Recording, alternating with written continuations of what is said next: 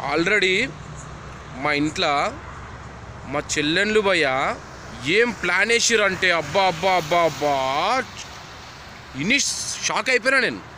రాఖీ అన్నను రాఖీ కట్టించుకొని నాతోటి రాఖీ కట్టి కట్టిన తర్వాత అబ్బా ఏం ప్లాన్ అంటే ఎంత పడితే అంత వసూలు చేయాలని చెప్పేసి ఫిక్స్ అయిపోయి మాట్లాడుకుంటుంటే ఇన్నా.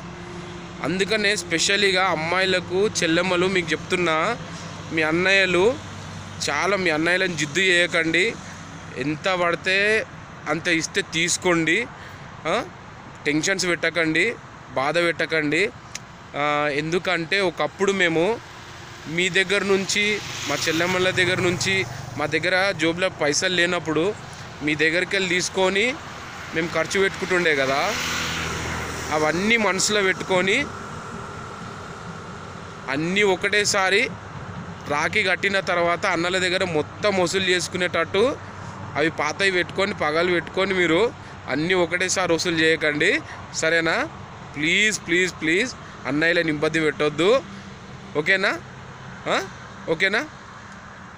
చెప్తా అంటే మీకు కోపం వస్తుందా? మీ అమ్మాయిలు అంతా ఇంతే కదా?